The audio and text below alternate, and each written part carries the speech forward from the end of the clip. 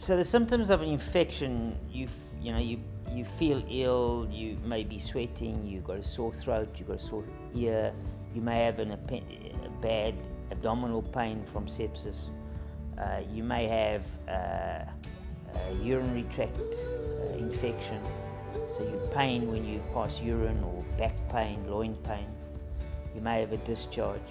So the symptoms, depending on where the the signs and symptoms, depending on where the infection are, vary. There are common phenomena. You tend to have a high temperature and feel pyrexial. You tend to feel off because of the high temperature and the infection itself. But they're very non-specific signs. A lot of the infections like that get better and aren't termed sepsis because they get better and they're not severe. But sepsis as a severe infection uh, is quite a problem and needs to be treated quite aggressively.